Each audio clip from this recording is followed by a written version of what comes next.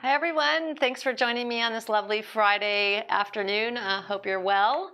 Um, I am just so enjoying summer here in Portland right now. My my garden is just exploding, and it's just so much fun to go out there every morning and see what's up, see what's blossoming, and what new colors are happening, what new little fractals are um, popping out. So I'm really enjoying that. Um, surprises every day. And um, so, speaking of surprises, well, we have some big announcements today, which you might have heard. We're um, launching year three of monthly pastel painting lessons online, which I'm so proud of, and I'm going to talk to you guys about.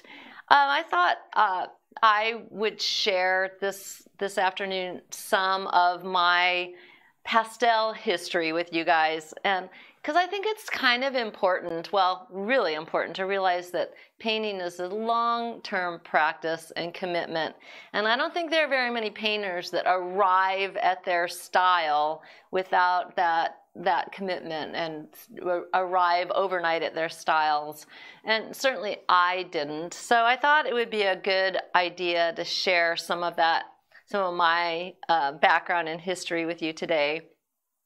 Um, so, you know, I've been doing this for a long time, and it's always been such a deep well of goodness and healing and beauty for me, and I love sharing it with you guys. Um, so, without further ado, I thought I would. Um, do you guys want to? Do you guys want to have me show it up here? Or you want to do it down here on the tabletop? Oh, down on there's one. Okay. Okay. So, some of you guys might know that uh, in my um, long time ago, I worked as an illustrator. And um, when I first got out of art school, the kind of prevailing style was really tight, photorealistic rendering. And I did that primarily with acrylics back then, cutting little friskets. And that was kind of pre computer days, pre digital. Um, that wasn't as prevalent. So we did all that by hand with an airbrush and a little tiny, like, triple aught, you know, brush with like three hairs on it. But then a little bit later on, I began doing a style that was a little bit more whimsical, a little looser. Still, I'll show you what it is. But I did that with carb Othello pencils, and I did that kind that that style and that work for a number of years. So I really it was fun, and it kind of got me back into the pastel thing after years of not really um, doing that stuff. So this is kind of a good example of one of those pieces. It's kind of you know what, it's bigger. Yeah, yeah. Let's try it up here because it, it's a little chaotic there. Um, so I, I, did this little kind of texture with the Carbothello pencils. And a lot of this is drawn from imagination. Obviously, it's not um, realistic style, kind of very, very kind of stylized and whimsical, but kind of fun. And then let's see, this one I did for um, Lewis and Clark College. This was their Christmas card one year. So, you know, really, really kind of tight rendering, but still kind of, still at the same time, kind of stylized. Carbothello pencils. This is Wallis paper that I was using way back then. Uh, let's see, this one was done for a a children's uh, story magazine, kind of more of an editorial thing. It's kind of fun. And uh, again, that kind of swirly little little texture going on throughout. remember doing these again, Wallis paper, Carbothello pencils. And I, I, like this. I like to show this one. I forget what exactly what this might have been another Christmas card, but uh, I this is Wallis paper that I toned with. Uh, looks like it was probably just a cadmium red. But you see, I did this little thumbnail sketch before I did the final, and so even back then, you know, I'm working things out. Uh, a lot of times when you're working with a client, you have to do a, a comp. We call them comprehensives or maquette, and you'd have to get this approved before you'd go to the finished piece. And I believe that that was the case in this with this one.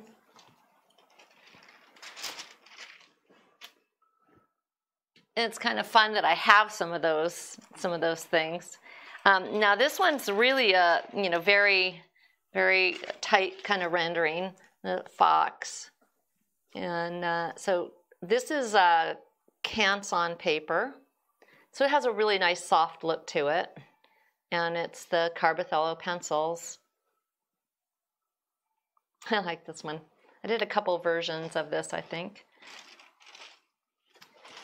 And then this one I, I like because it this is kind of moving towards the landscapes. This was a job. I, I painted, I did these of all, like, I think there were nine Portland bridges that I painted. This is the um, St. John's Bridge. So getting into the, the landscape world, you know, kind of tight, you know, very different from how I might approach a landscape these days. So, you know, just I definitely went through this evolution.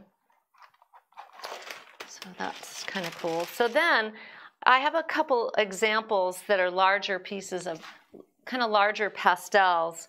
Uh, a couple of them are not in super great shape, and I might have to do some little bit of restoration work actually on a couple of these um, because I haven't taken super great care of these. So these are some of the er, my early, early landscapes. And you can see there's damage here. Um, but this is Canson paper. And I believe at this time I had primarily Rembrandt pastels. Pretty sure that I didn't have very much else. I might have had some Schmincke, but I definitely wasn't using anything like a Terry Ludwig or Girault's or anything like that at all. So this was, you know, pretty, this is 1996, looks like. So my kids were little when I did that. And same thing here. This is, uh, um, yeah, this one says 95. So this is even a little bit earlier. And so again, like really tight, um, has some damage to it, but you can see that even, even though um, even though it's damaged, I think you know when it was originally done, the, that texture of the paper came through. This is just black Canson paper,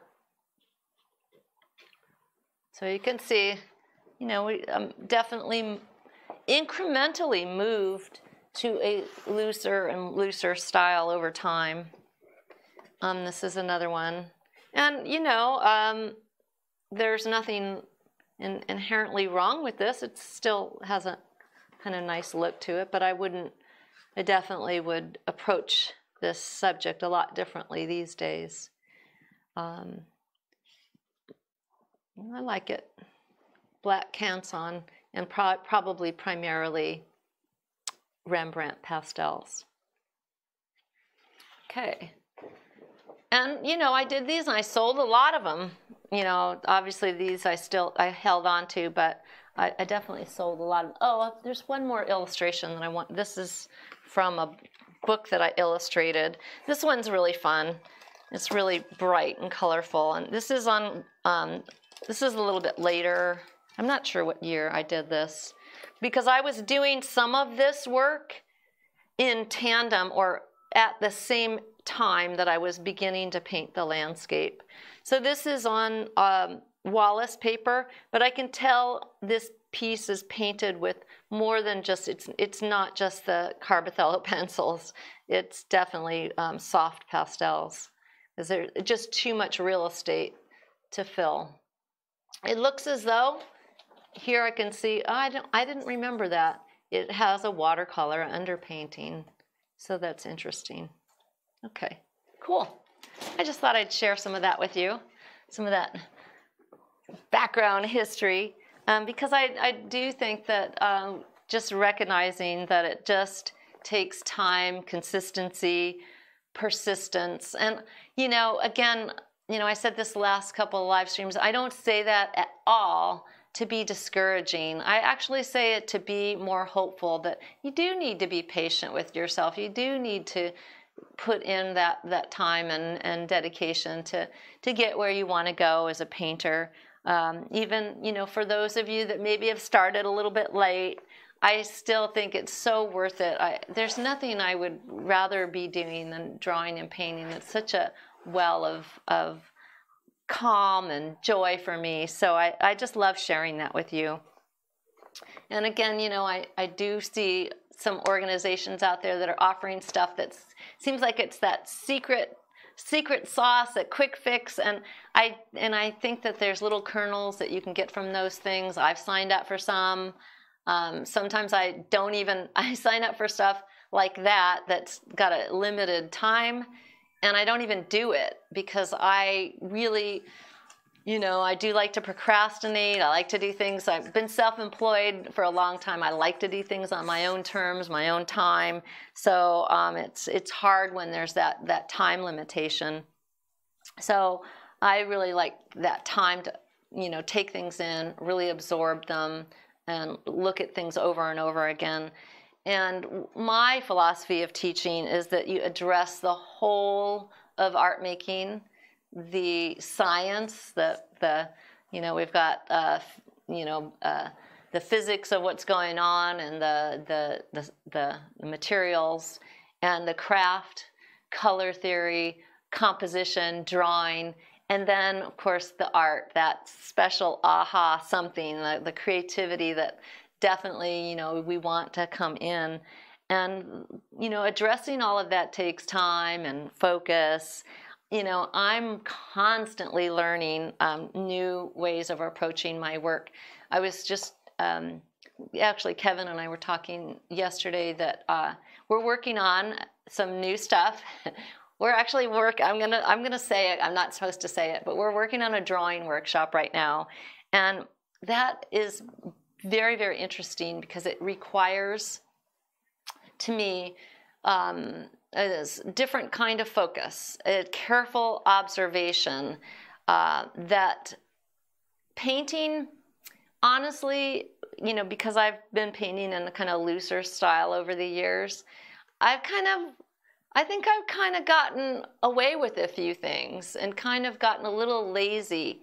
I'm not saying that you shouldn't paint loose because I love doing that and I'm going to today, but I think that um, you can get a little you can get a little lazy in terms of like really paying attention to what you're doing and drawing is like get gotten me to get a little bit more laser focused and i'm you know i'm excited about that to bring a little more precision to my painting and the the big paintings that i'm doing for my show the subject matter that i'm doing it definitely requires that of me a little bit more you know that that focus.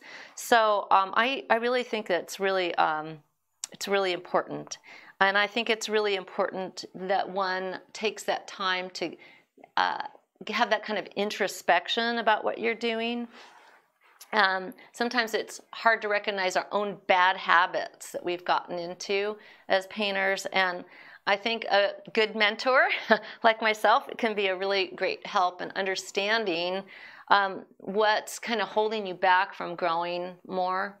And um, that's one of the advantages of working with someone over time. And that's one of the big things that I'm really proud of with monthly pastel painting lessons online because I think that um, it really provides that. It's my flagship product, which is now in its third year of production. Well, we just finished our third year of production um, and the subscription, you'll have that kind of consistency and persistent learning over time.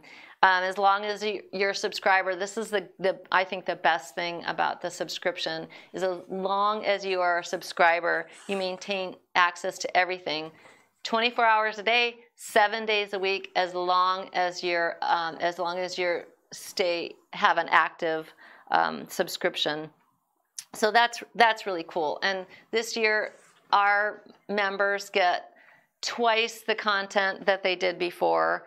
and that's all it's a super super affordable price and it's never been a better time to sign up than right now the sale goes on through the summer and then we'll have to raise the price. Um, so for a limited time it's on sale.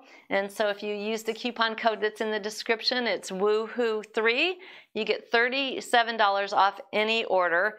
Um, sorry this doesn't apply to the renewals but you can either pay monthly which is $39.99 a month which is such a great price because I'm going to show you what you get for just one month. It, just one month, you get the lessons from, you get three lessons from year one. So that's, this is just an example. Okay, so you're going to get three lessons. This is each like an, hour lesson from year one. You get, and this is just in one month. You get three from year two. And then you get three from year three. Plus, you get last year's recorded SuperStream lesson. And then you get this year's SuperStream lesson, which we actually did just yesterday for the, our members. So it's a whole ton, and this is just one month. And then you also get in for one month, you get the PDFs. Okay. Oh, you want to go? You went. You went overhead. Okay. Yeah. For one month, you get the the PDFs, which are really dense, and for the when you when you sign up, you get the bonus session on nocturnes in addition to that. So the first the first month, you actually get even way more. So it's a ton of stuff. It's um, it's just, uh, uh, it'll keep you really busy, pastel painting. And so um, each session focuses on a topic, either a fundamental of painting or a painting subject, and includes, so each one of these lessons is a step-by-step demonstration, usually about an hour or so, and the study guide. You get access, yeah, you get access to hundreds of pages. And one of, one of our students, um, uh, added it all up and he said it's over 900 pages. It's going to be even more now.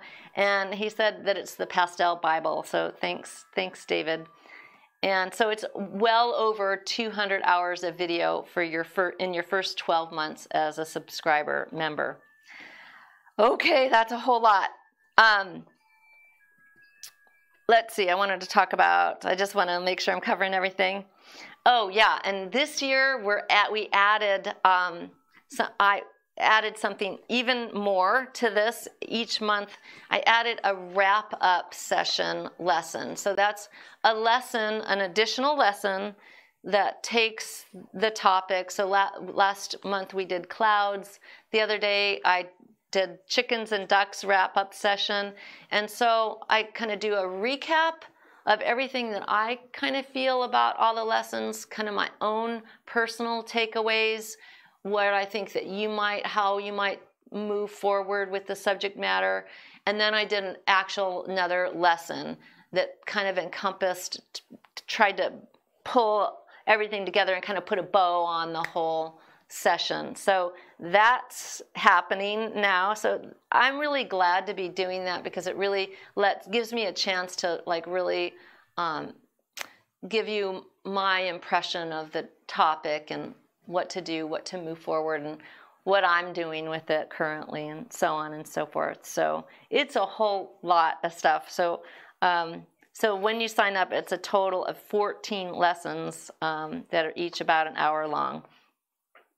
And um, let's see what else. What else? What else? I oh, the super streams that we're doing now. Um, so yesterday we did the first one for year three, and we focused on edges yesterday. And so I think it was. I am hoping it was really informative for everyone.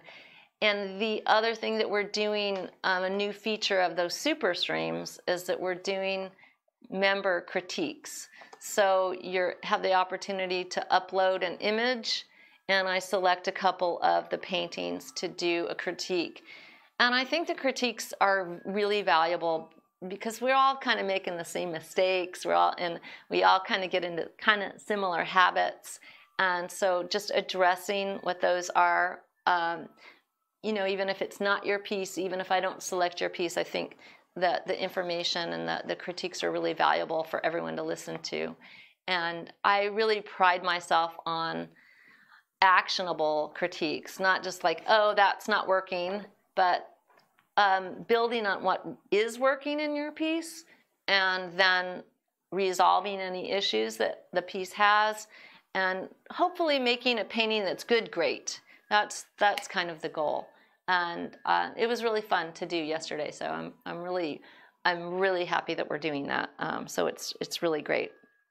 And um, you know, I just don't hold anything back, and I and especially this year, there's you know, I'm getting older. There's no reason to hold anything back. I, I kind of never did, but um, I don't feel like there's any secrets to this other than um, you know what I was just talking about. Um, but um, there, you know, I, I do think it's important for me as a teacher to kind of break down any of the barriers between my, myself and my students. Um, we have a great Facebook group as well. That's another feature of the subscription. And the folks in that Facebook group are so amazing. They're so positive and share their knowledge and information. So if you if you join, you shouldn't feel timid, about uh, posting work, even if you're a beginner, because there are people that are beginners all the way up to professionals that are in the group and everyone is just so sharing and great. I'm really um, proud of the community that we've grown through that group. So that's another um, thing that is a great resource for you that's ongoing. The other thing I have to mention is that we um, do monthly mileage trainings. Um, that come each month with your subscription. And those mileage trainings are little exercises just to keep you in the groove that that kind of um, uh, kind of drill down on the topic for the month. This year, we're we're aligning the mileage training topic with the year three's topics, and I think that that's really important. Um, I think we tend to kind of focus on the finished pieces um, when we're painting, and uh, I don't think it's always about that.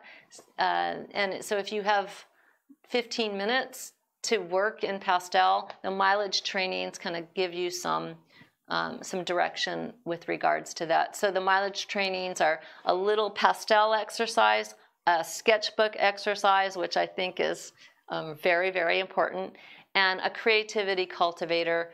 And to me, that's just you know, just a little reminder to keep that artist eye going and just let yourself be enchanted by the visual field and just by, you know, the gratitude and we got to get up in the morning. So I think that that's, you know, it's helpful to me. Um, it's helpful to me to teach you guys. so I think that's really cool. Um, so the, the, the subscription is really meant to help you improve your your painting skills overall over time. And um, I'm really excited to uh, be working on year four pretty soon. Um, um, but I oh the other the one last thing I have to mention about the subscription is that I do I do intend pastel painting month the monthly subscription to be kind of your your go to for pastel painting um, to just to keep you in that groove. But um, I'm also offering a, a, a, discount, a $15 discount on any other uh, uh, workshop that I have for the monthly subscribers because I know there's sometimes you want to like really focus in in detail on a particular subject matter. So uh, I want to give my monthly subscribers all the goodies, all the perks, and there is a money back, a 30 day money back guarantee. I really want you to be happy with the subscription. I do think it's awesome. I don't think there's anything out there like it right now. And I also think that um, there, there, um, if you're a fan of mine um, and you want to s- support these, the, the free live streams that we do every week, the best way to do that is to become a monthly subscriber, honestly. And um, yeah. And one one other thing I like to mention to people because it is kind of overwhelming. It's a ton of content, right? It's a ton, and you could get in there and you could be like a little overwhelmed. Um, but um, I I think that you can you can just take it step by step and it's it's you know you don't have to be overwhelmed and you don't there's no competition. There's no need to get in there and do it all at once. It can be something that you can rely on and count on to help you in your painting over time.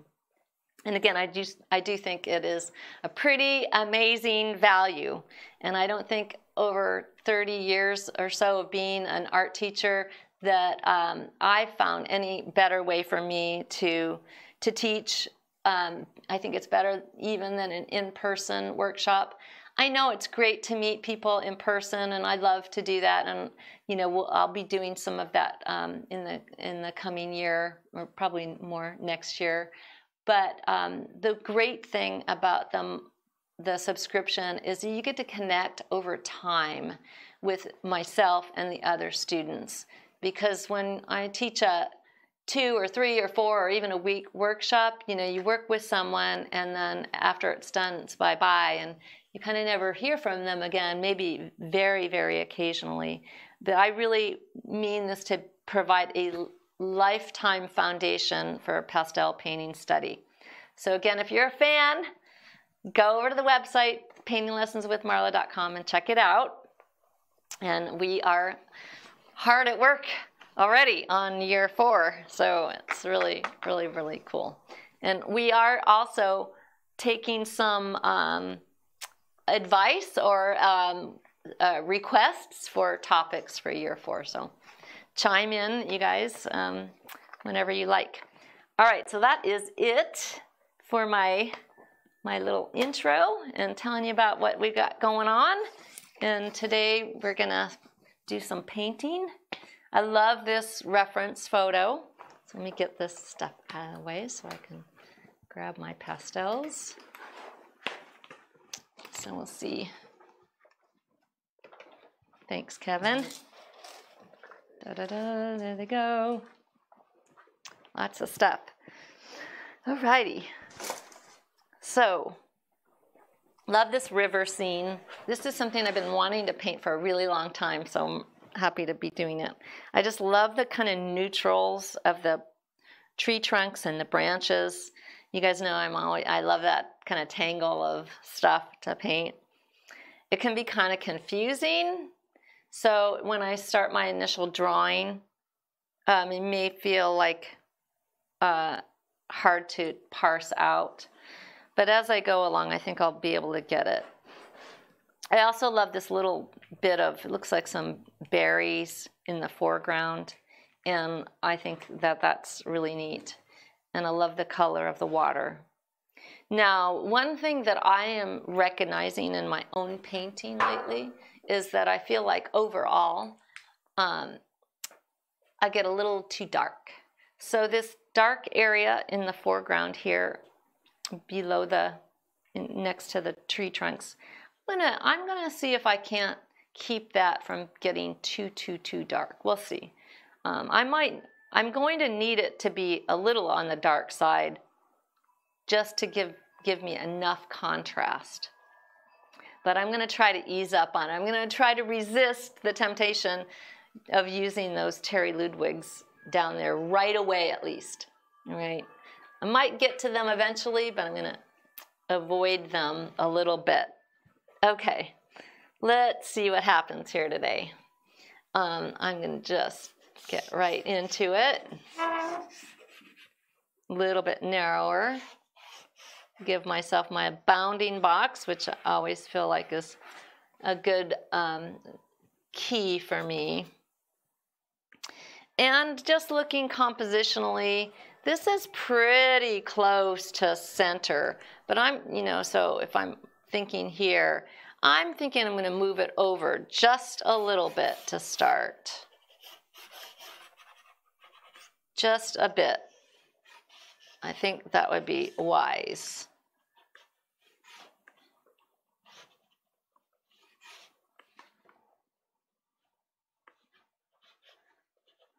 And this one I really like how it, the kind of interaction between these two trunks is cool. This is a little darker here. It's got a little dark shadow side. So I can already start in there.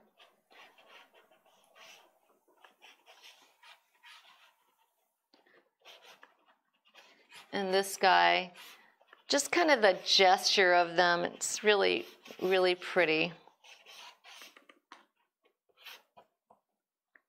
And then this is coming like that. And then we've got this kind of,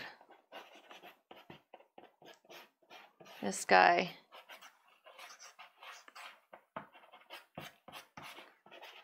Just indicate some of that. And then this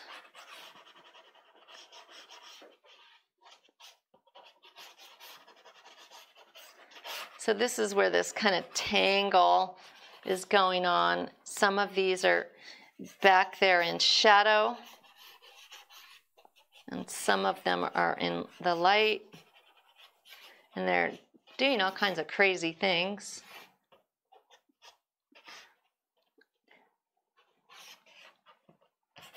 And then here's that dark that I'm a little concerned about, that I'm going to be tempted to get it too dark.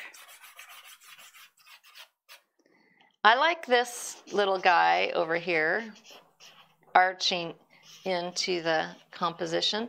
And then up here I've got some foliage. And then here is the river bank up up in here. I think it's right right right about here. And then the top of the tree line I'll give myself just some indication of where that's sitting. Okay. I think that's enough to kind of get me going. It's all kinds of fun stuff going on. All right. Okay. Now, looking at that, it doesn't probably make much sense to anyone but me, but that's okay because I'm the one painting it. um, and that's the case in for you too. Don't worry about if your sketch looks like a mess at this stage of the game. It's okay as long as it makes sense to you and it has some reference points that that help you out. Then you're good.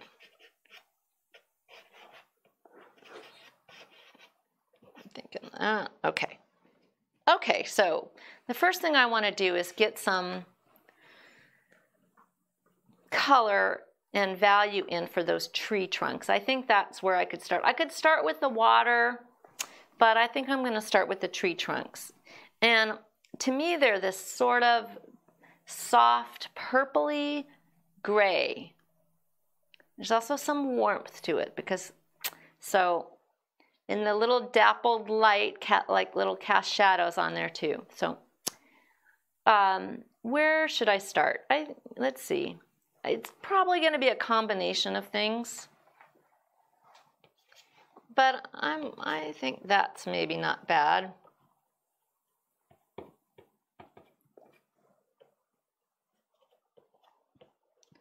So notice I'm not doing this. I'm not drawing like this.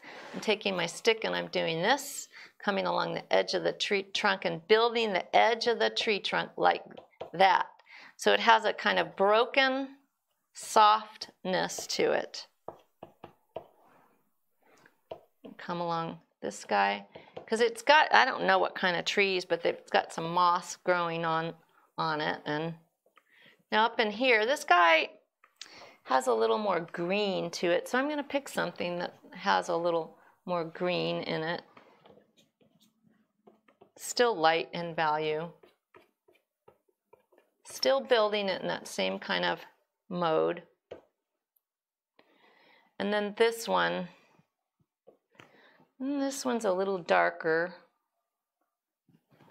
That both of these are a little darker that come across. I'm using a look, this is a kind of purpley gray. I kind of see that color in, in there a lot. So right for right now, I'm kind of ignoring the moss. I'll get back to that. Because you can only do one thing at a time. Can, so you got to pick your pick what you're to do.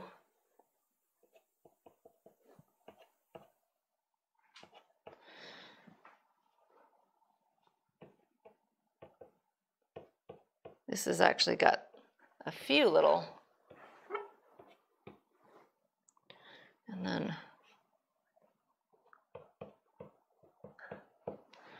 Can you talk a little bit about why you use blue spruce?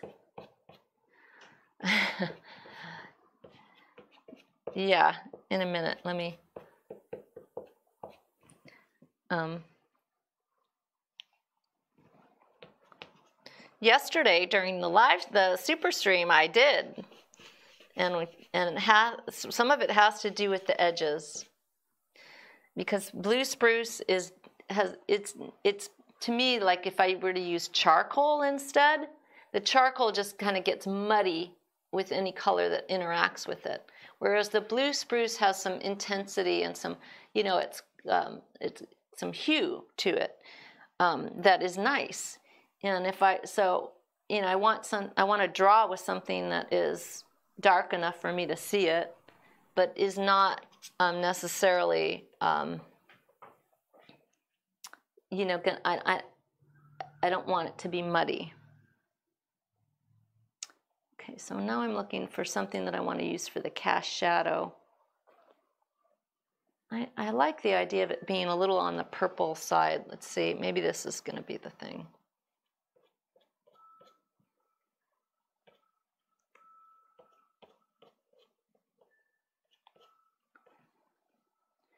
I just want to, I'm, I'm just testing this out right now, just kind of seeing if this is going to be the uh, work for me. I think it will.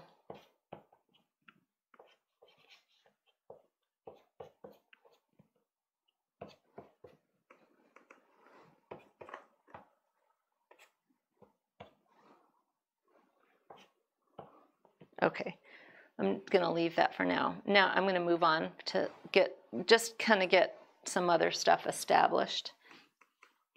I'm kind of feeling to get the distant tree line going. And I want to do that really um, nice and I want the value of it to be nice and light, but I want some color to it uh, as well. So let me see, I'm thinking that that's a maybe, that's maybe too bright, too intense. So something a little more muted. There we go. I like this.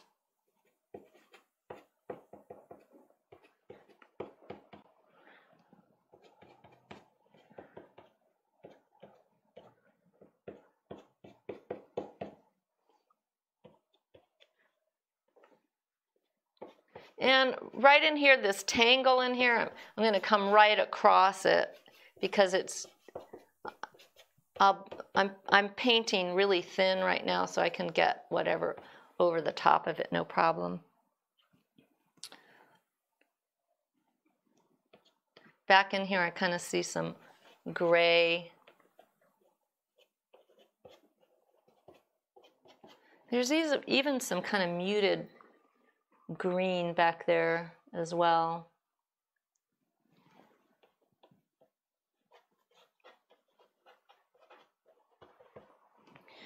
Now, how about this foliage that's over the top? There's some red in there, a little bit of, you know, fall color happening. This must have been some fall during the fall. And I think I'll go ahead and give that, let that have some intensity, at least a little bit. I'm going to go, so pick out a few spots to bring a little bit of idea of some color in there, and that's that's kind of nice. How about that moss? Boy, it's pretty. Let's see. it's got a dark side too, but I think I just got lucky and I think picked up something that I think is pretty good right here. Definitely just got lucky.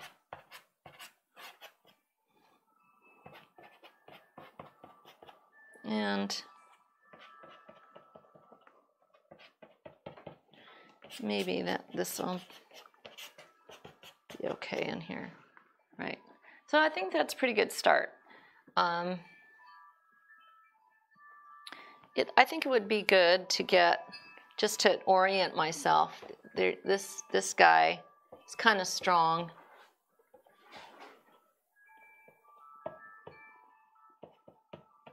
And see how I'm building it? I'm, I'm definitely not doing that.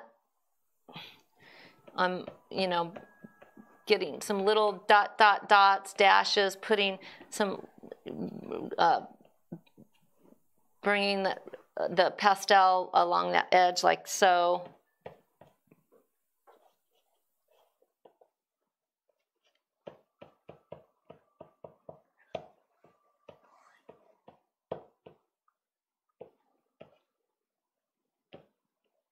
And then there's the one here too that I just want to know.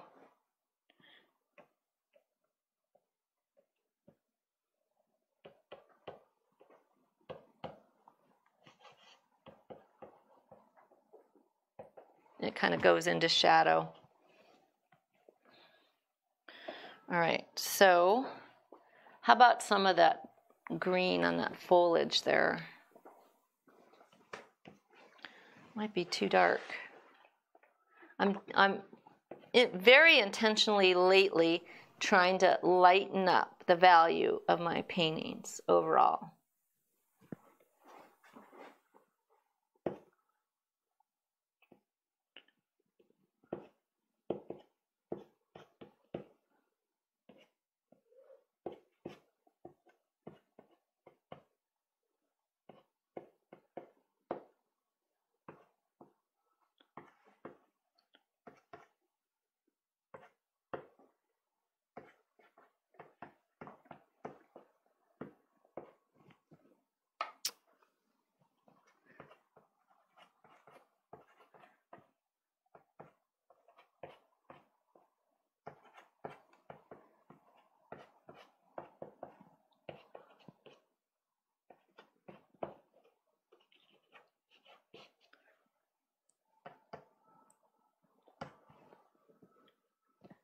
Now this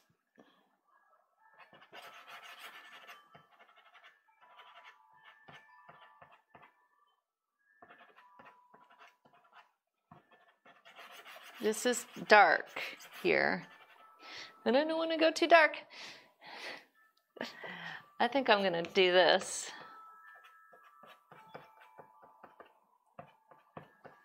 In here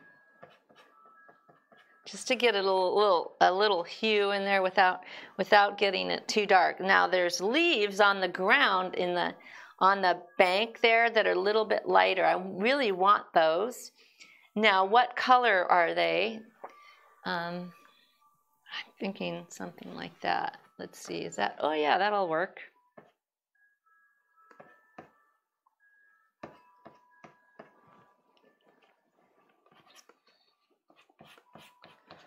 I got I've got some kind of idea of a little bit of green popping in from this side. I can I can always go darker, right? That's the thing. Um,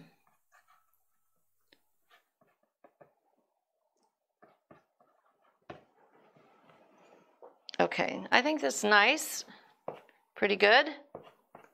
Um, and now, now I'm at that great point where I get to put some water in. Oh, I might, I might want to get, there's a couple of dark limbs in here that I just want to indicate. So um, you mentioned earlier that you were painting too dark. Yeah. Um, just, why do you want to lighten up? Um, why do you feel that? I, I just think that it would look good. I think it, you know, I, I just, I, I want my paintings to have a, a, a, an, a lightness and airiness that um, sometimes I don't think I, I get. I, I want them to be happier. I want happy. I want happy paintings. I want to be. I want to be like Bob. Want, no, honestly, I do. I want. I want happy paintings.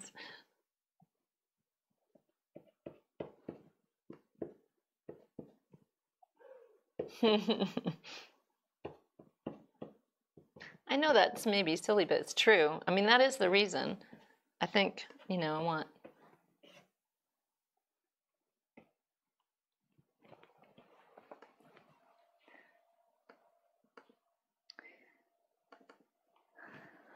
Right.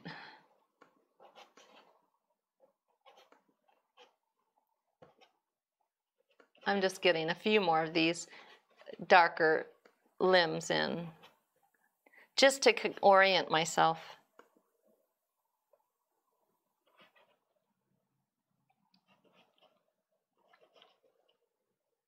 Before I put the water in.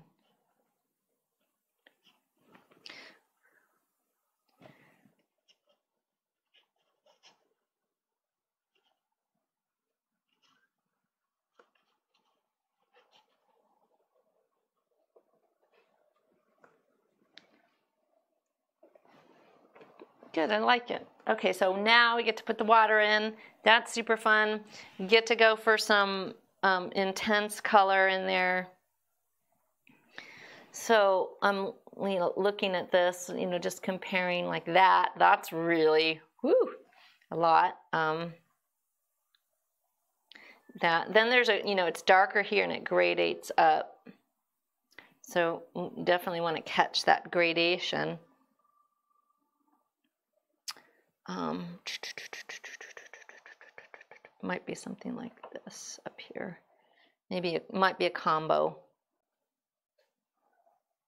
of colors. So we'll see. Okay. All right, let's see what happens. It's the moment of truth here. I'm actually thinking even something even darker.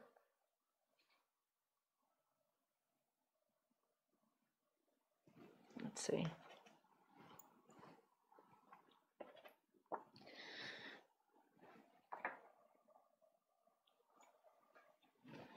How dark? That's too dark.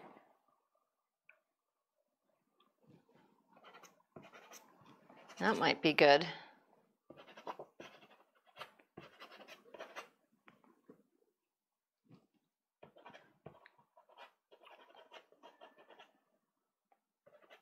It's got some purple to it also, so that might be nice to get in there.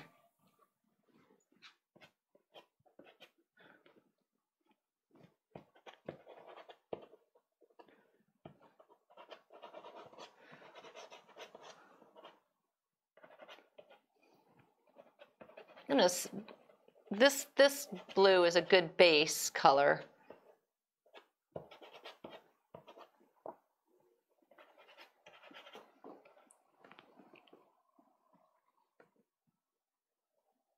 Let's see, I'm just, yeah.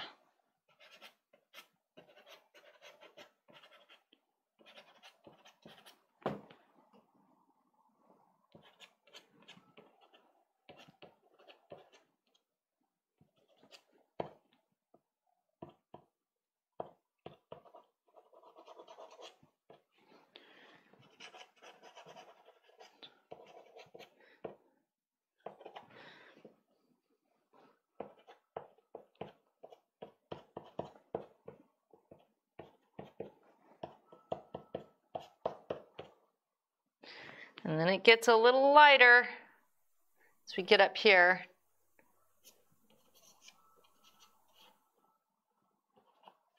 Here's a question.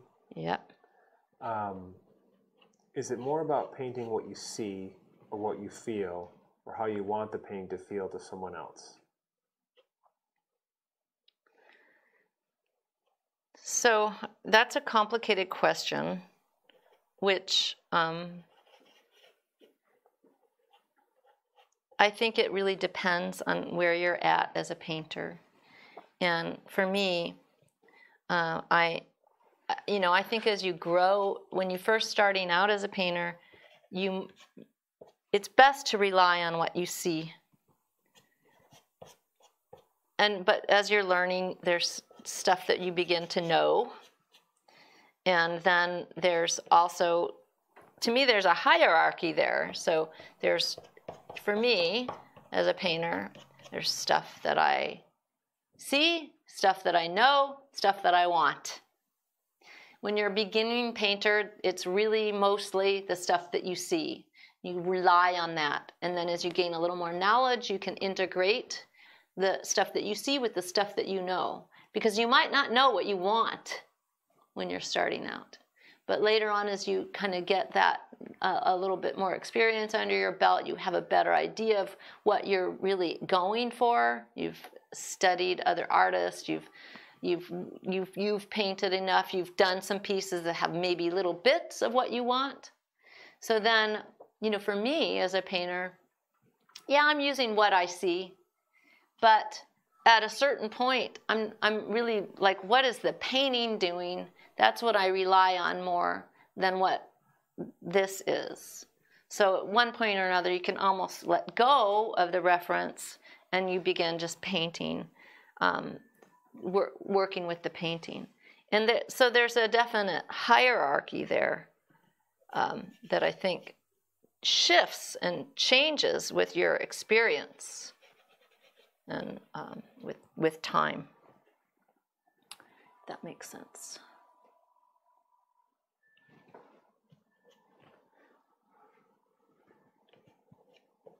So this is the reflection of the bank.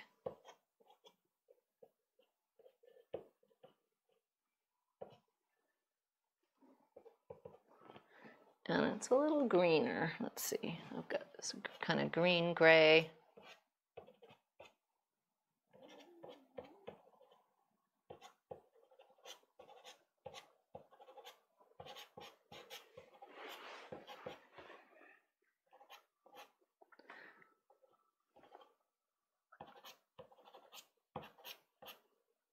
Because when you're starting out, you don't even, you know, you know, you have that beginner's mind. You don't, you, you know, you don't even know that you're not doing it right. a lot of times, I know I didn't. Like, oh, I think this is great, and I'm like, really? No, not so much. And you have to get, um, you have to learn stuff to know what you don't know.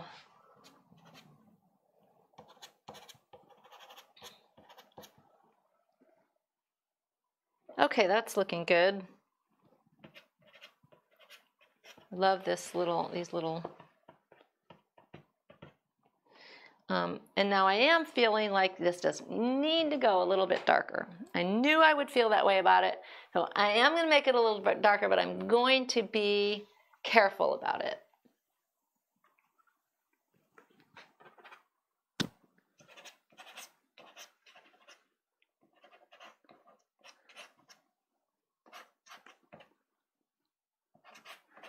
Not let it I don't want it to overtake my my my scene.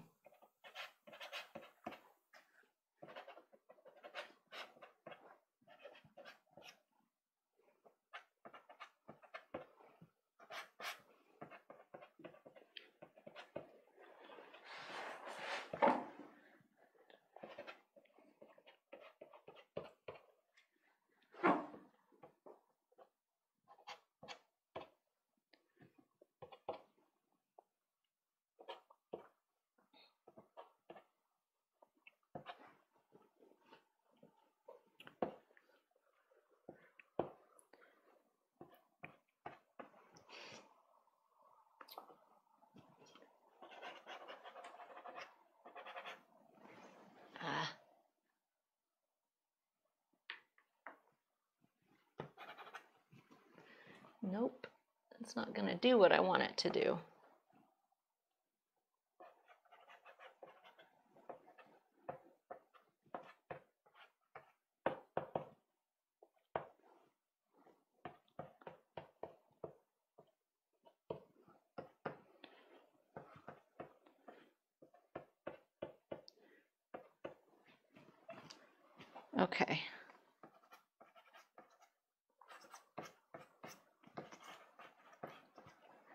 Now I felt good. Um, however, I want to get that sky in because that's going to really kind of pull it together and tell me, give me a lot more information. Before that, I'm going to I'm to get a little more oomph with these this green here because I think it would be nice.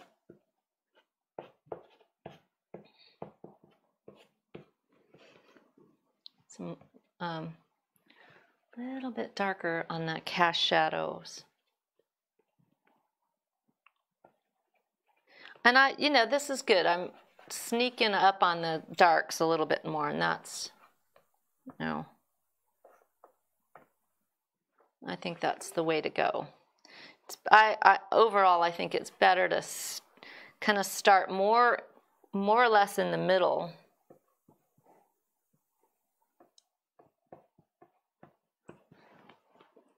And sneak up on the darks.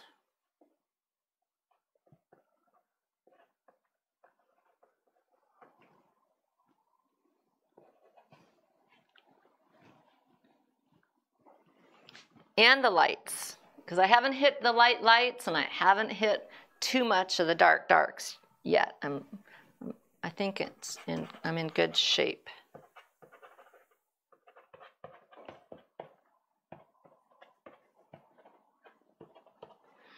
All right, let's uh,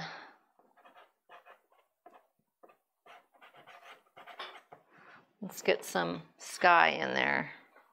I think that's gonna pull things together nicely. So, um, Marla, on the right side of the painting, mm-hmm. um, you've cropped the the photograph. Um, so there's a little patch of lake on the right side of the photo. Did did you crop that lake out a little bit, or your bounding box? Do you see what I mean? No, in in the photo that I have in my hand, that's not the case. Oh, okay. So so the photo that's on online is is it might cropped. Yeah, it might be. So yeah. you've cropped out that lake on the right side. I might, and and I think that's fine. I wouldn't want a little teeny bit over here of it anyway. I don't think that would be probably very good.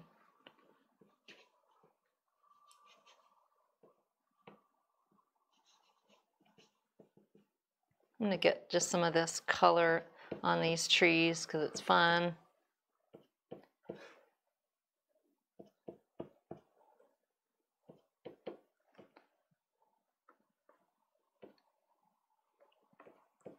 Yeah, I'm um,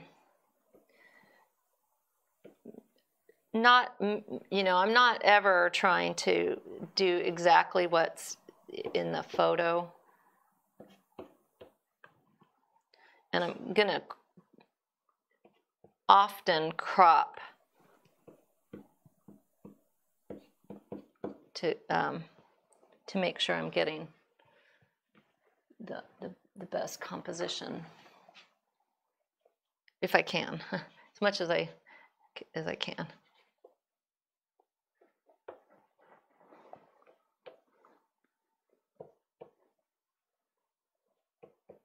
Just I'm just grabbing some of these little textures and things. It's fun.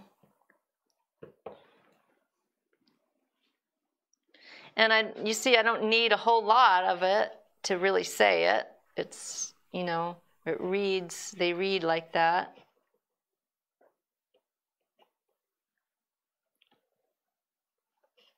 Dots and dashes, a little shorthand for that texture. Get whatever kind of trees they are. Maybe some darks up here in the foliage. This is a brown, nice dark brown. I just want to get this kind of rolling a little bit because I'm going to knit the sky in and around that.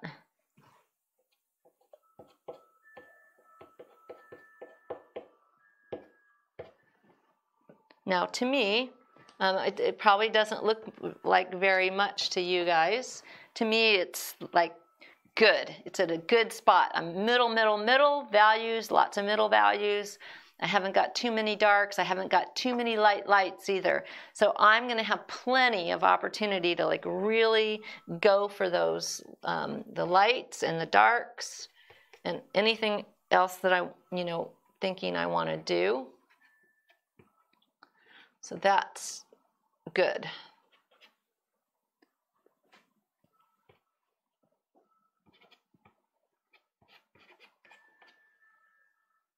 Get a little more heft on this guy here.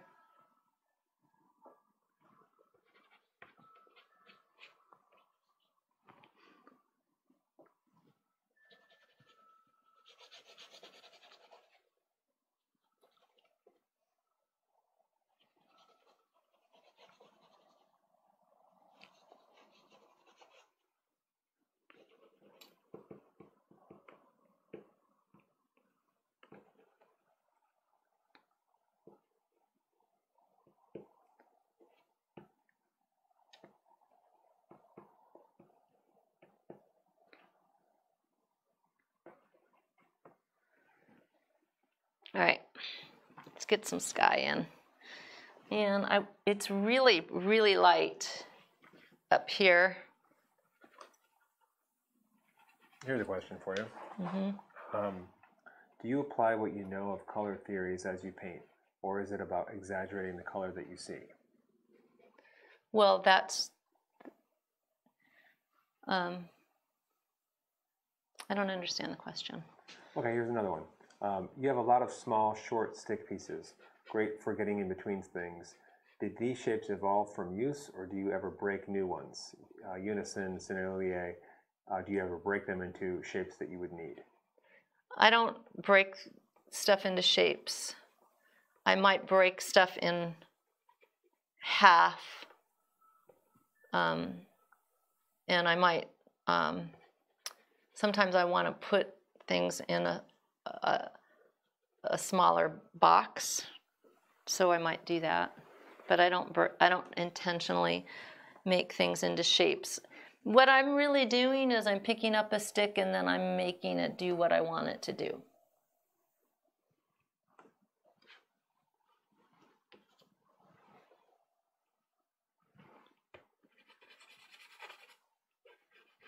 I'm not picking up that stick I'm picking up the stick because of its color or because of it, it's, um, it might be the right um, uh, softness or hardness. Now, here, see this? This is the blue spruce. See what I'm doing?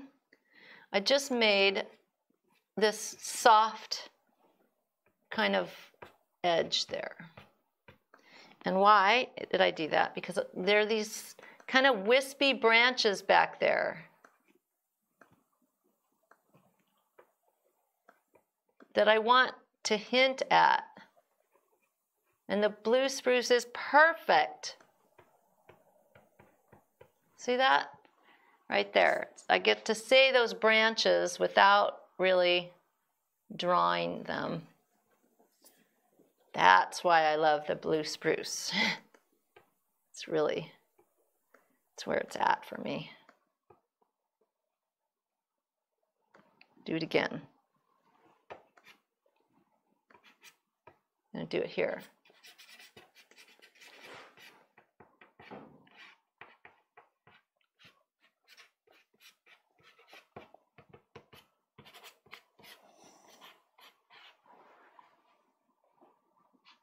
So when I come in with this almost white, it's going to pick up a teeny bit of that color.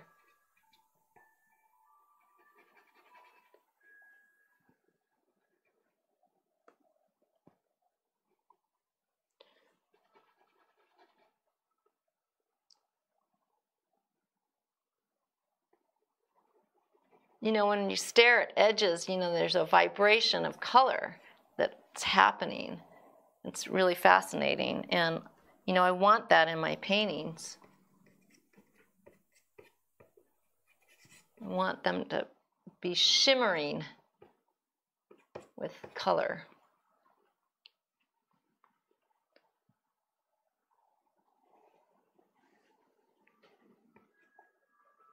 And energy and light, and you know, that's what we're painting more than a thing.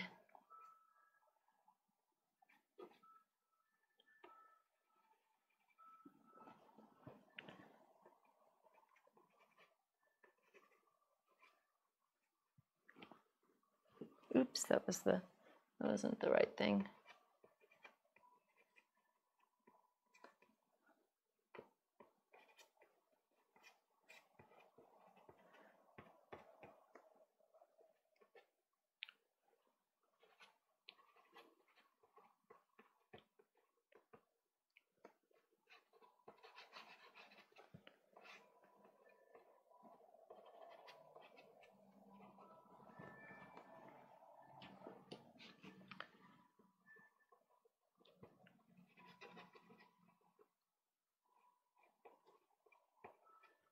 And this is, you know, I'm I'm not really looking at this so much as looking at what, you know, I'm not trying to get this exact. There's no way I could.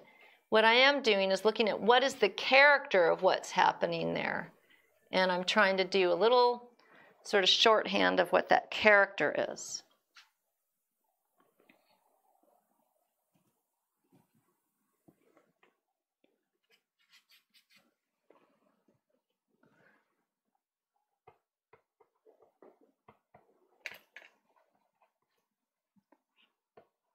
All right. Cool, now I'm in really good shape because I haven't put the light lights on the trees. I haven't put some of the foliage on top. I haven't done the lights in these branches. And I have pl plenty of tooth left to do it. So that's really cool. I'm in really good shape.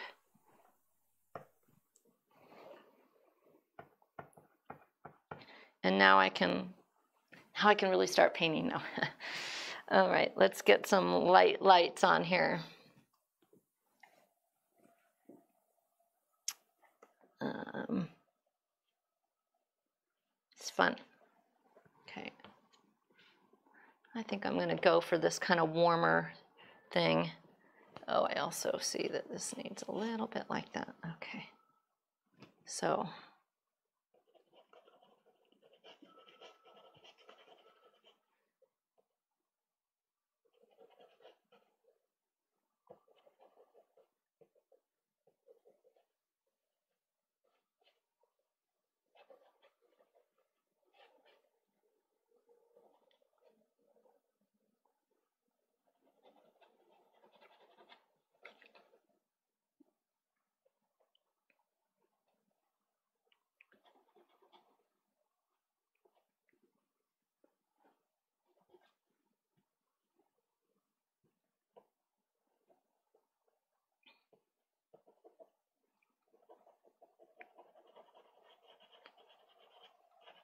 Again, I'm not trying to get this exact.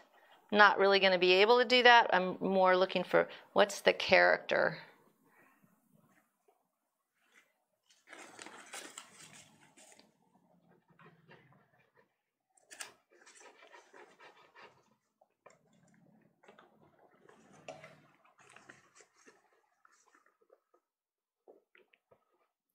What kind of marks are going to help me describe the texture? And the edges and the color. Shift over to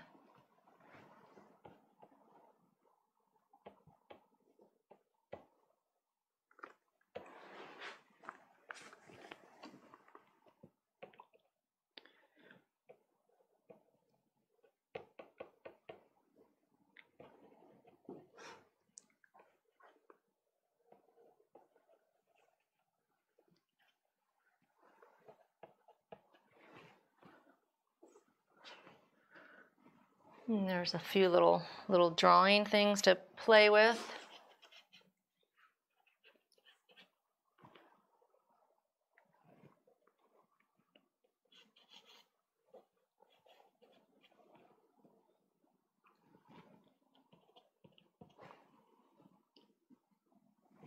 There's this this guy.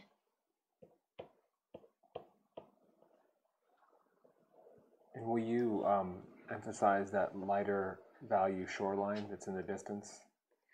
Uh, probably. But I don't want to, you know, I'm not going to overdo that.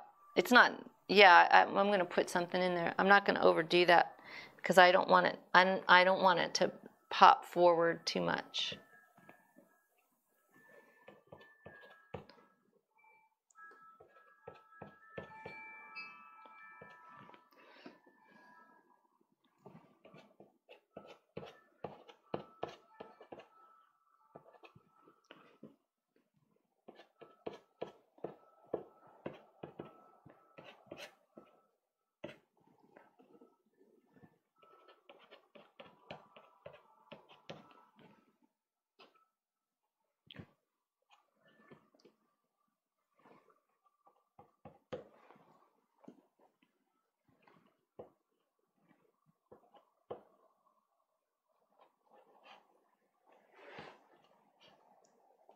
There's some discussion on the chat, and um, someone quoted, uh, quote, value does all the work and color gets all the glory by Richard Schmid.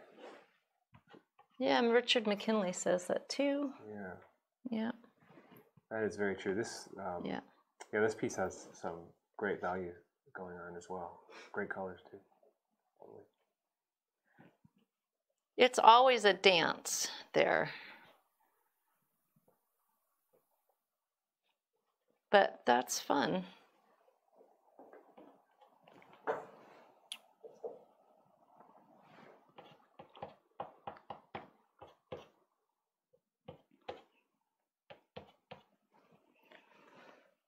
Oh.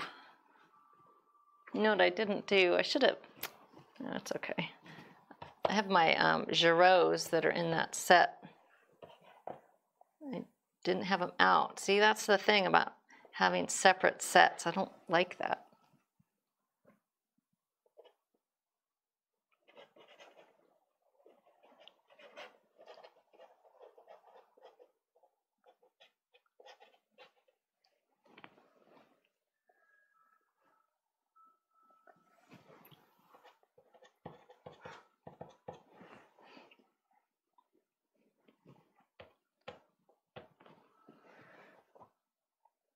Oh, I'm going to have to get it.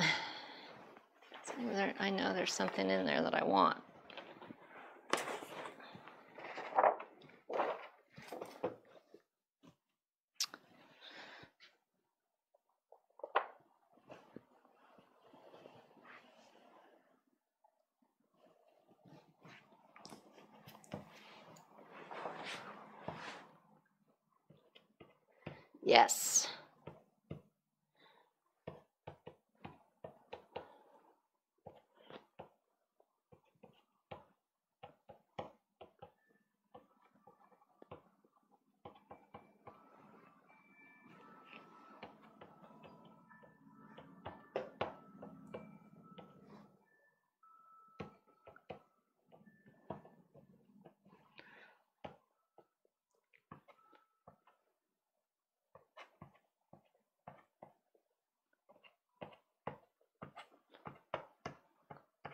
So what is it that the Girault do for you that the other pastels cannot? Well, I knew this. This has the. It's the in this one. It's the color, and it's also a little hard.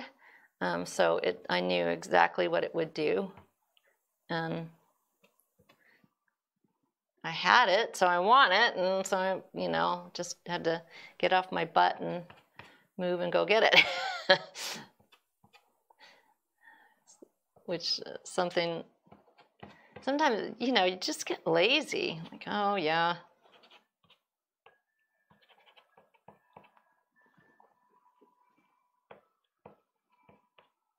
I get lazy.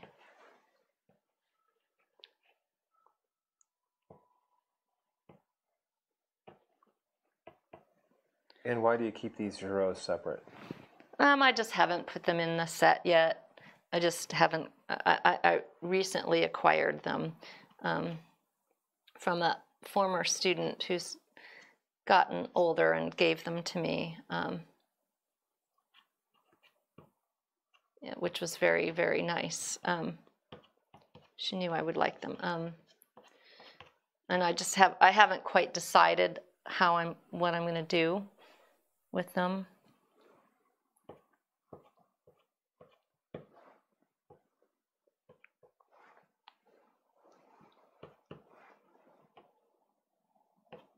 So no, no nothing startling or no no real good reason honestly. Okay, let's ad address a couple things here. Um, I think I'm getting getting there on this. Let's get that bank because I do think it does need to have um, something back there.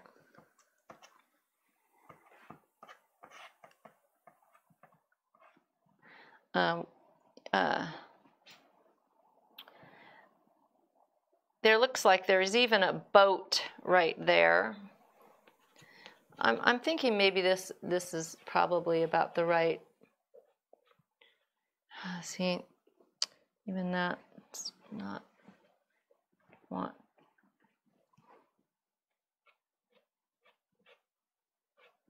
Oh, I want a real soft edge there. Um, I do see some little bit of color back in here. There's also some uprights.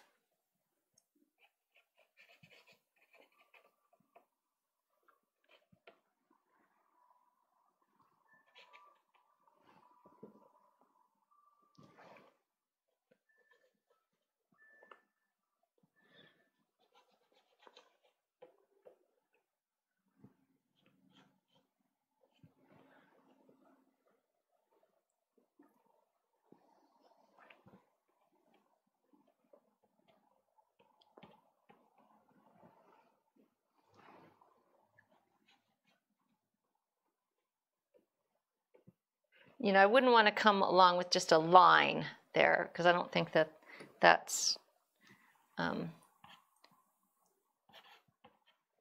effective.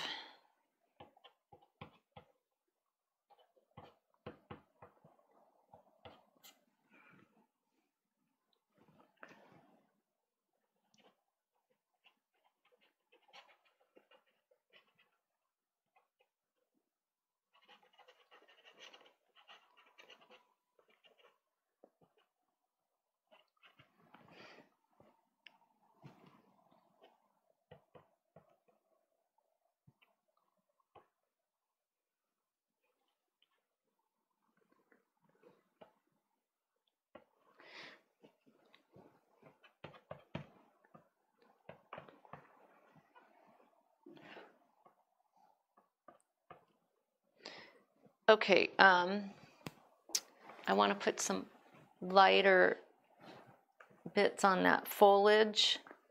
And then I think I'm gonna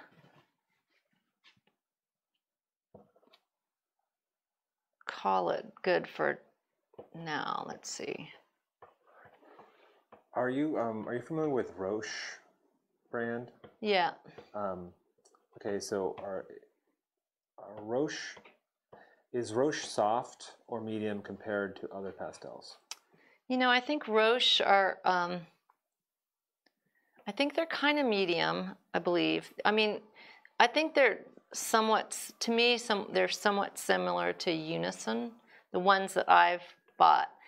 I gotta say, I, I, you know, I bought some because I was so, you know, you, you can't help but be intrigued by them. They're so expensive. Um, you know, they're really nice pastels, but are they worth it? I don't know. Um, I don't, personally, I don't buy them. I just don't.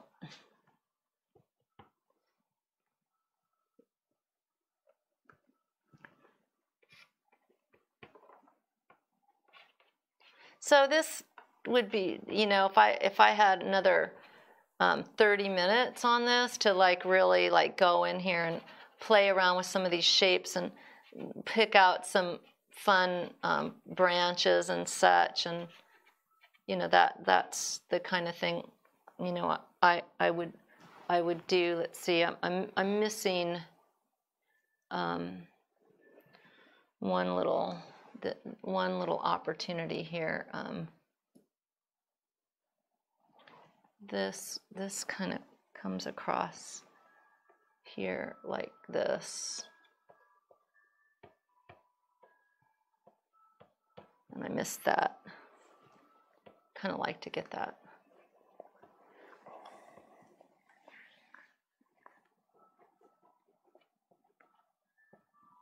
Yeah. That's good. Um, yeah, so, you know, I definitely um, think that they're really nice pastels, but I guess I have my limits on what I'm going to spend. So.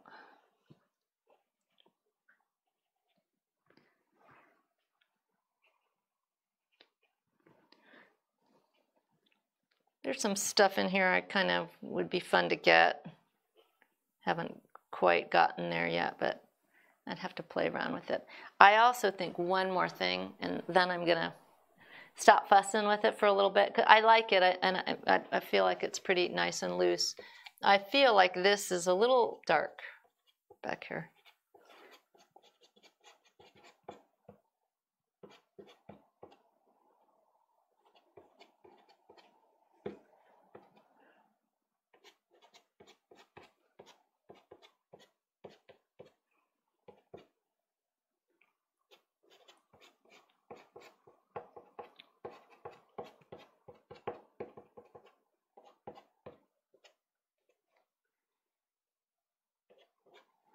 That's nice. That's good.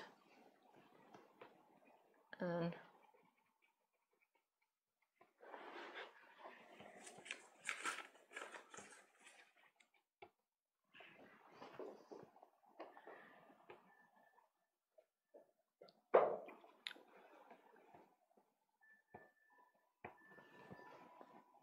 Oh yeah, much better. Okay.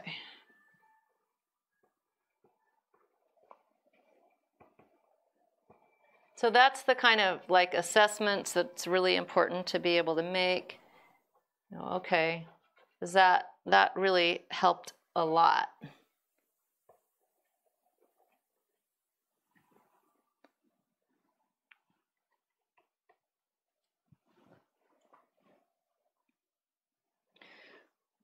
And there's, you know, a few other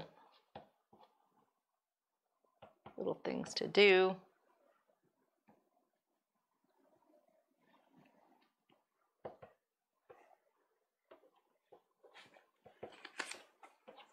And we'll crop it and take a look at it with the. Okay, yeah, we will. With the frame whenever you're ready.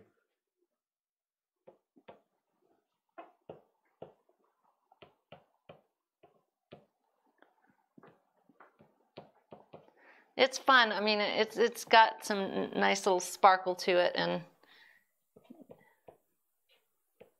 yeah, I like it.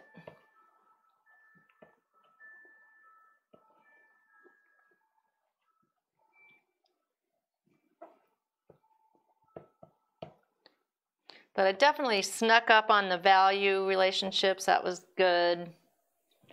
Um,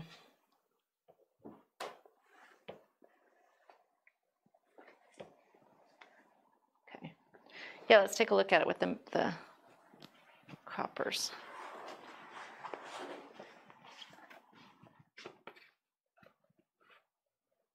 All right, here we go. Uh, I need to work on that right there one this this this branch right there needs to. Bit, yeah, I will. Hang on, hang on. There we go. Yeah, I think it's cool. It's fun. Um, but you know, there are a few little things that would be nice to play with. Um, but you know, like 15, 20 minutes, I think I could get it there really nicely. But um, yeah. Okay, guys, so be sure that you head over to the website, paintinglessonswithmarla.com, and check things out there. Right now, we're having a sale on the monthly um, sub, um, pastel painting lessons online, and that's gonna that won't that'll just last for the summer.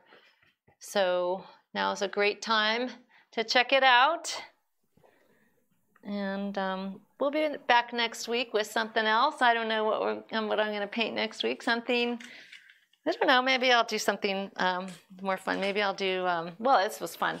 Maybe I'll do something more playful. I should say, um, like a. Maybe I'll do a chicken or a duck or something like that. Hmm. That would be fun. Okay. All right. Well, I hope you have a lovely weekend, and I hope it's beautiful wherever you are on the globe, and um, uh, get some painting time in this weekend. That'd be super cool. I I definitely intend to. All right, you guys, thanks for watching. Thanks for um, tuning in. Okay, all right, bye bye.